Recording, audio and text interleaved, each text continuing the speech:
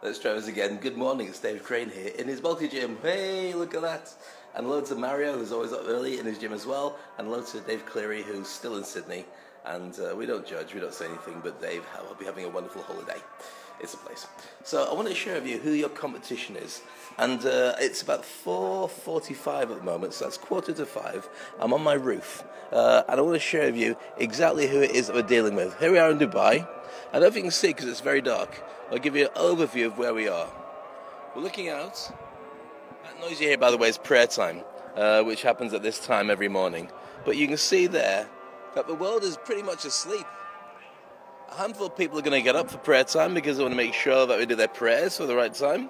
But over there, you got a slight light on in that building down here. Don't think you can see. Probably a guy's having an argument with his missus, and uh, he's probably just come in from sleeping in the car because they fell, they fell out, and uh, of course his food was in the cat.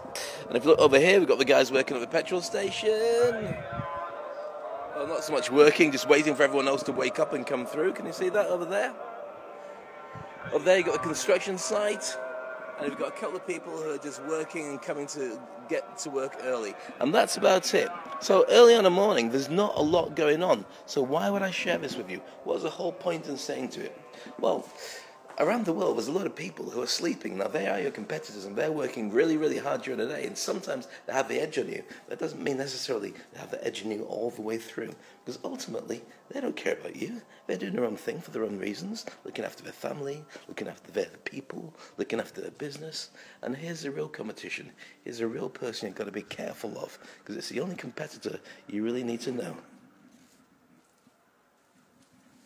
And that's you ultimately, it's all down to you. That's the game you play. That's the battle you're up against. That's the one person who knows you, who loves you, who cares about you, and is ultimately best positioned to defeat you when it comes to making success. So look after this one. Look after this person. Don't let him be lazy. Don't let her tell you what you can and can't do. And most of all, enjoy every element. That's it. That's my big lesson. Look after this person, and they'll look after you. A great day.